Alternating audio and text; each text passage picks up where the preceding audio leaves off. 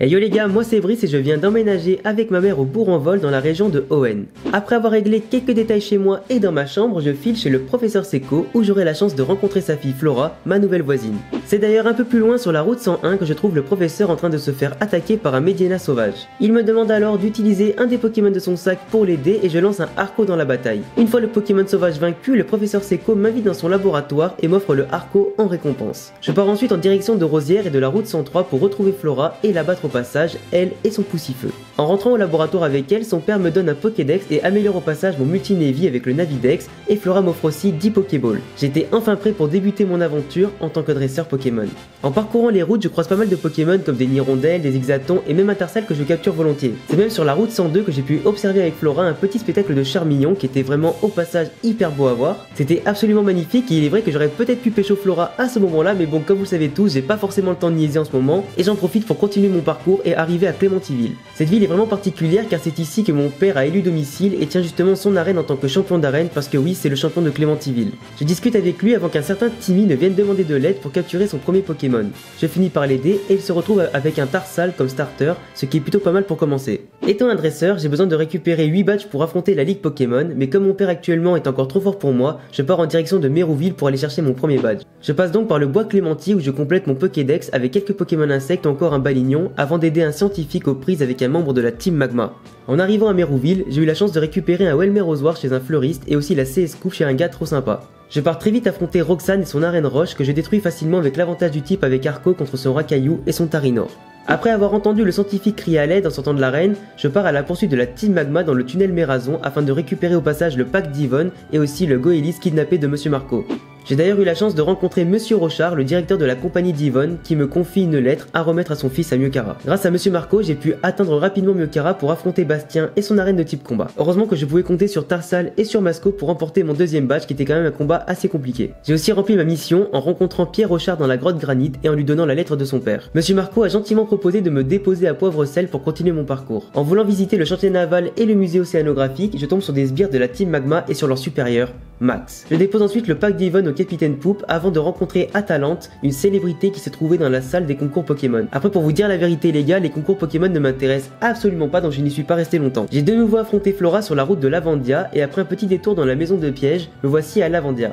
Timmy a décidé de me bloquer le passage et je le bats en quelques secondes avant de me lancer dans un gros duel contre Voltaire et ses Pokémon électriques. Son magnéton était redoutable mais me voilà maintenant avec 3 badges en poche. Mon parcours avance plutôt bien et mon équipe évolue bien avec un Masco, un Kirlia, un Heiledel, un Charmillon ou encore un Vigoroth et un Balignon pas encore évolué. Je récupère un vélo chez Rodolphe et en profite pour passer à la pension Pokémon et aussi à Vergazon, ville natale de Timmy. Sur le chemin, je récupère plusieurs CS comme Éclatroc ou encore la CS Force, mais je ne peux pas aller plus loin en avançant via le mont Cheminé car le périphérique est en panne. Je passe par le chemin ardent et rencontre un homme un peu plus loin qui me raconte sa vie et m'apprend à créer une base secrète. En arrivant à Otekia, je rencontre Annette, la fameuse créatrice du système de stockage Pokémon sur PC, ainsi que le prof Cosmo qui m'informe que la Team Magma leur a volé une météorite très importante. Je pars au site Météor en battant tous les sbires de la Team Magma et aussi un des leaders de cette team.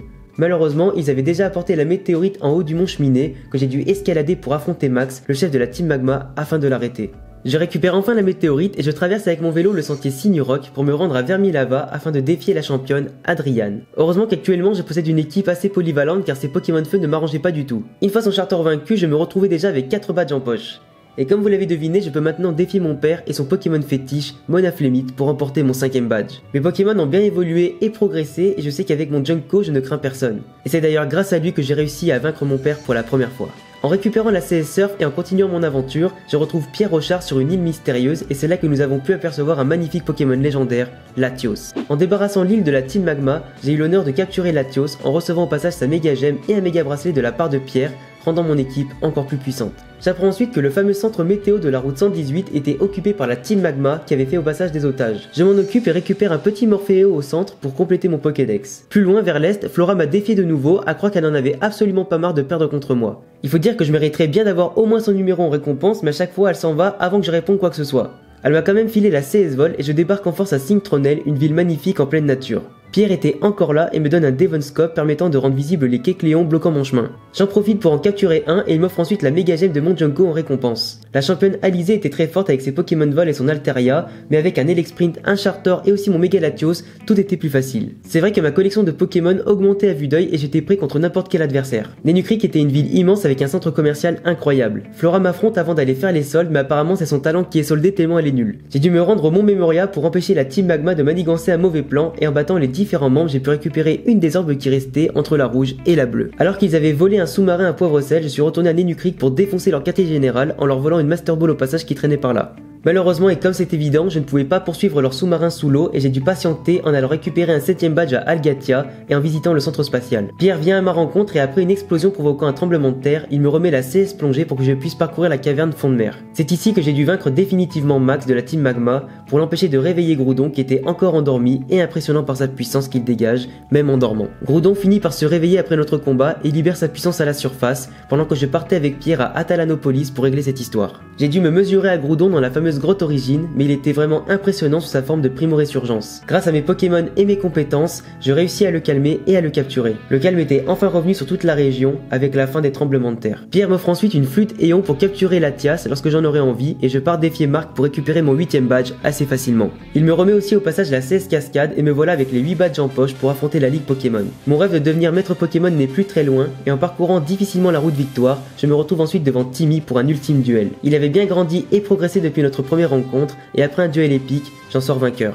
Le conseil des quatre de la région d'Owen était vraiment impressionnant avec Damien le spécialiste des ténèbres, Spectra la spécialiste des spectres, Glacia la spécialiste de glace ou encore Aragon le maître des dragons. Il ne me restait plus qu'une seule étape à franchir pour réaliser mon rêve et comme je pouvais m'en douter, il s'agissait d'une personne qui m'avait suivi et soutenu pendant tout ce temps, Pierre Rochard. Son équipe était fantastique mais la mienne était encore plus. Junko, Sprint, Gardevoir, Latios, Milobellus, Groudon. Je n'oublie pas tous mes autres Pokémon et tous les défis que j'ai relevés pour en arriver là. Après un duel acharné, je récupère enfin le titre de maître de la Ligue Pokémon et apparemment Flora souhaitait me tester une dernière fois, même si vous connaissez déjà la suite. Après les gars, pour tout vous dire, j'étais à peine rentré chez moi pour prendre un petit peu de repos après tous ces combats que j'avais déjà hâte de repartir à la conquête du monde pour élucider tous les mystères de cette région. J'ai d'ailleurs pu capturer tout au long de mon aventure Latias, Regice, Regirock et Registil pour compléter ma collection de légendaires et aussi le Pokédex de la région d'Owen. C'est d'ailleurs après cela que j'ai rencontré Amaryllis avec qui je fais équipe pour éviter la collision d'un météorite géant sur notre région. Ça me saoule parce qu'avant ça j'avais invité Flora à venir voir un spectacle avec moi et je peux jamais être tranquille avec elle pour la pécho. Au début tout n'était pas tranquille avec Amaryllis que j'ai dû poursuivre dans toute la région après qu'elle ait volé les méga gemmes de Flora et celles de Timmy avant de la vaincre dans la grotte granite. Dans cette histoire j'ai pu en apprendre davantage sur la Primo-Résurgence et Rayquaza. Amaryllis avait explosé Max de la Team Magma avant de me donner rendez-vous au pilier céleste que j'ai pu atteindre grâce à Pierre et Marc qui a levé le saut protégeant le pilier. L'ascension du pilier céleste était vraiment hyper dangereuse, Rayquaza apparut pour sauver le monde de la météorite avant de me défier. J'ai réussi à le capturer à l'aide de la Master Ball et je me trouvais en possession du plus puissant Pokémon d'Owen voire du monde, avant qu'Amaryllis ne me défie et que je récupère Deoxys un petit peu plus tard. En l'espace de quelques mois, j'avais relevé tous les défis. Devenir dresseur, battre les champions d'arène, le conseil des quatre, ainsi que le maître de la ligue. J'avais pécho Flora, vaincu Amaryllis, la team Magma, sauvé la région et capturé tous les légendaires. Je m'appelle Brice et je suis devenu un héros.